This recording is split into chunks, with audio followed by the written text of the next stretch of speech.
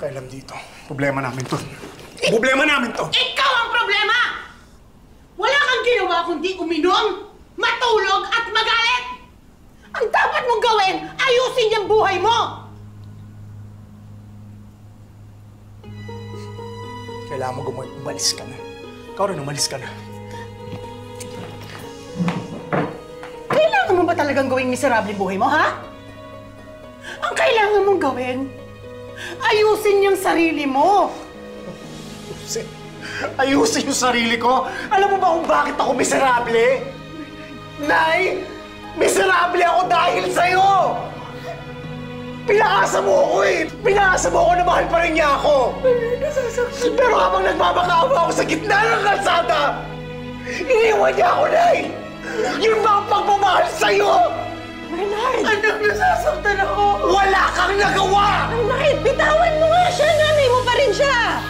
Yan! Sa'yo na!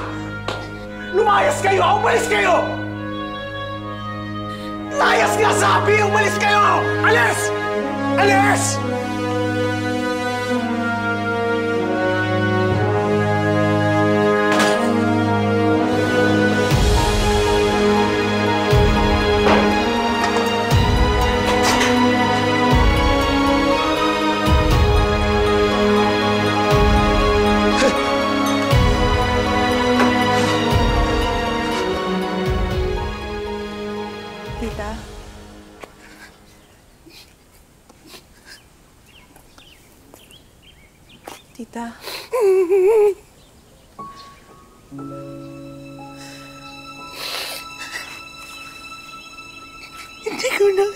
Kailangan ako.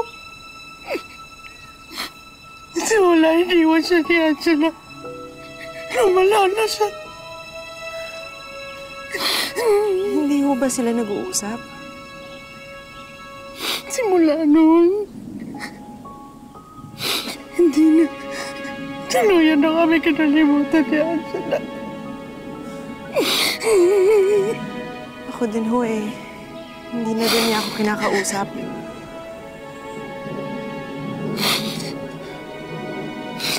Huwag ka na una magpakita dito hanggang ganyan si Bernard, ha? Unahin mo muna ang sarili mo. Tsaka yung anak mo. Tawagan mo na lang ako pag may kailangan ka.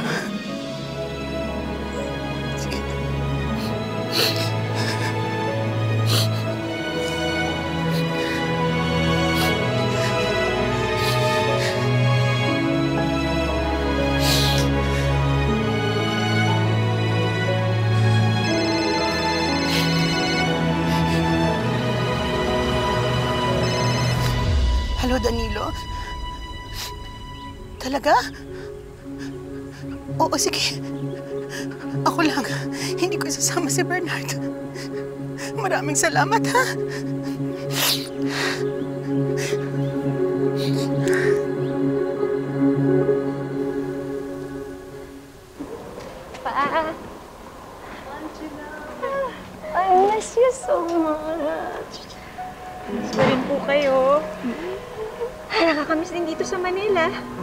Talaga?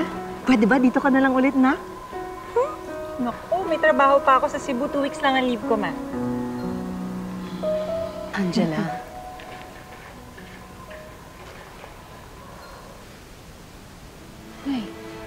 Anong ginagawa mo dito, Hilda? Ako nagsabi sa kanya na umuwi na si Angela. Si Bernard ba kasama mo? Ay, hindi. Hindi. Pasensya na, Florence. Pero matagal ko nang hiniling kay Danilo na pag dumating si Angela, sabihan ako. Kamusta na po kayo, Nay? Hindi ko na alam kung anong gagawin ko kay Bernard. Ikaw lang ang pwede magpatid mo sa kanya. Hindi ko na kaya. Tulungan mo naman ako.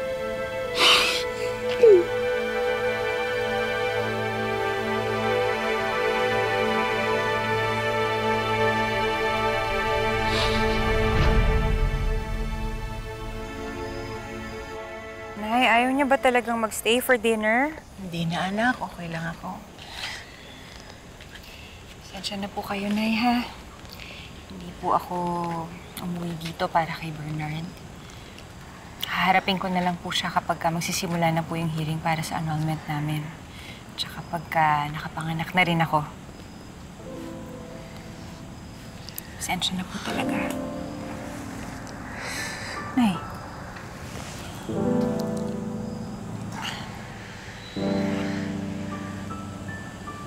Pasa kayo? Okay lang to, nak. Kaaway kasi kami ni Bernard kaninang maga eh.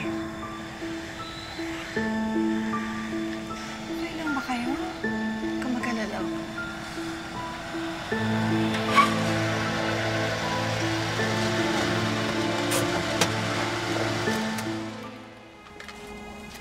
Angela.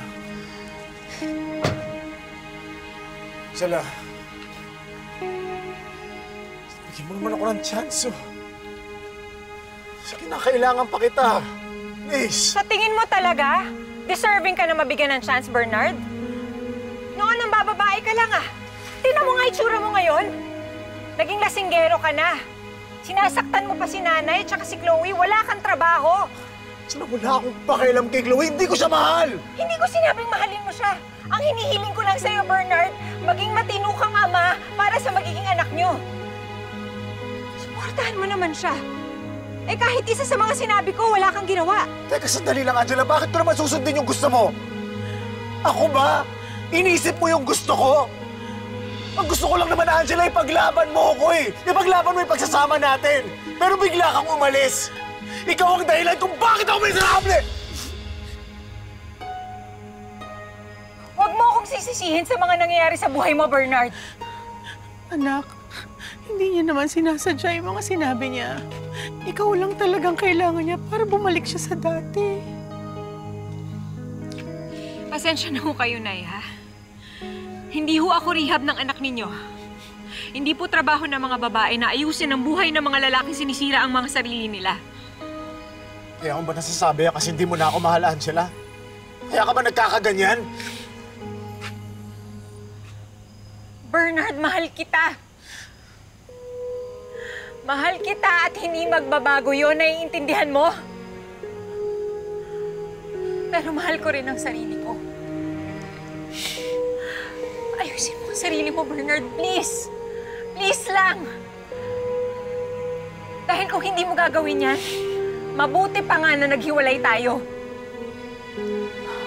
Angela! Angela, napakatigas mo! Anak, Angela!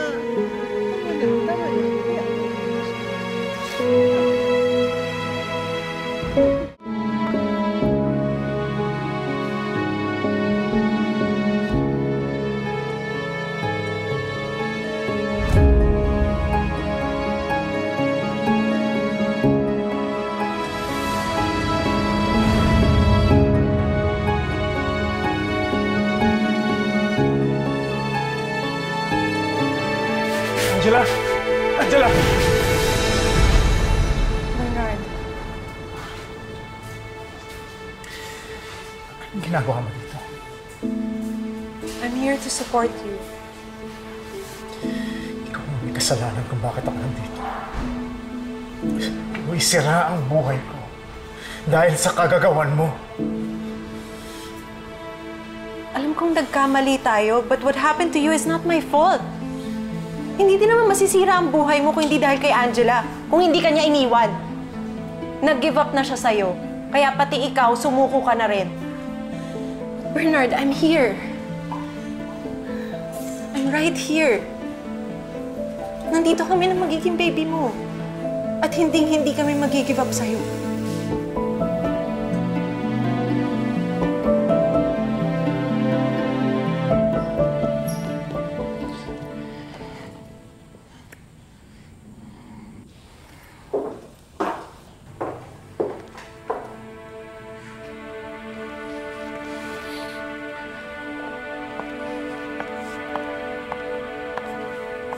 Mali ka yata ng pinuntahang bahay.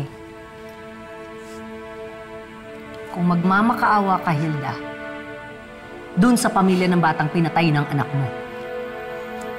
Florence, Wala na akong mawalapitan.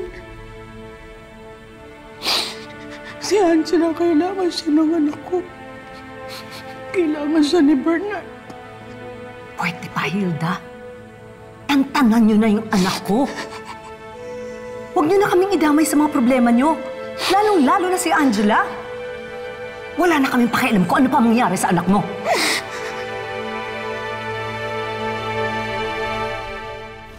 Wala akong pakialam sa'yo.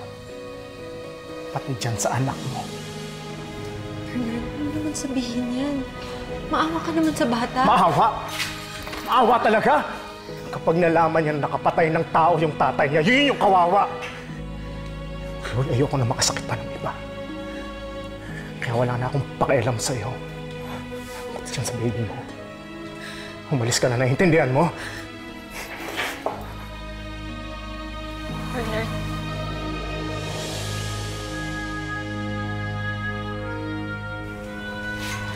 Anong ginagawa mo dito? Di ba iniwan mo na siya? Take a good look at him! Kung hindi dahil sa'yo, hindi magiging ganyan ang sitwasyon niya! Pinabayaan mo siya dahil wala kang kwentang asawa! Ano ba, Chloe? Tawag mo ko!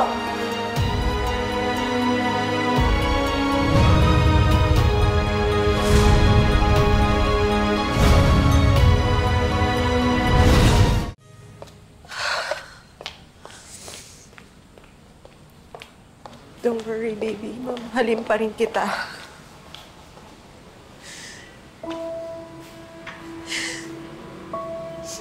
Will never hurt your feelings. Hindi kagaya ng ginawa sa atin ng daddy mo. Hindi na talaga niya kaya tayong mahalin eh.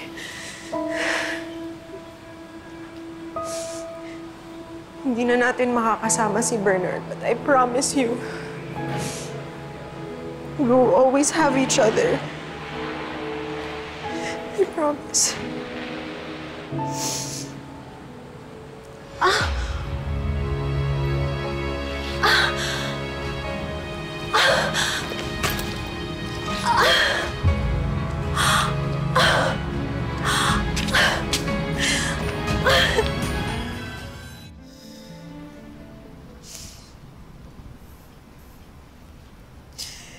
in there, baby, okay? Hapit na tayo umuwi.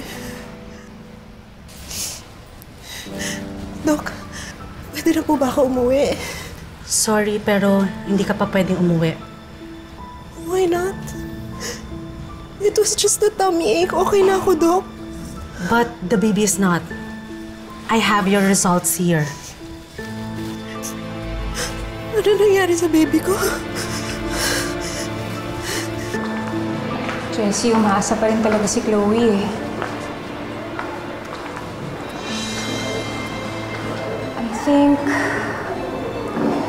Naghahanap lang siya talaga ng taong may magmamahal sa kanya. Yung taong makakasama niyang bumuo ng pamilya. Kaso, in her search for the right man, sinira naman niya yung pamilya mo. Kung ako sa'yo, deadbahin mo na siya. Eh, kung pwede lang sana eh. Pero nag-aalala talaga ako dun sa rejection ni Bernard sa kanya. Siyempre, hindi lang ako kay Chloe nag-aalala, pati na rin sa baby niya. Jess, pwede mo ba siya i-check? Ayoko, bes. Baka kung ano pa masabi ko dyan eh. Ito naman. Sige na naman, please. Hindi ako makapunta dun eh kasi nga binabantayan ko si Nanay Hilda dito. Para namang hindi natin naging kaibigan si Chloe. Eh, nag-aalala rin ako sa kanya eh. Baka mamaya makasama yung nangyari kanina sa pagbubuntis niya. Chloe, wala na ang baby mo. At yun ang naging reason ng pagsakit ng tiyan mo kanina. And we have to take the fetus out from your uterus bago pa ito mag-cause ng complications.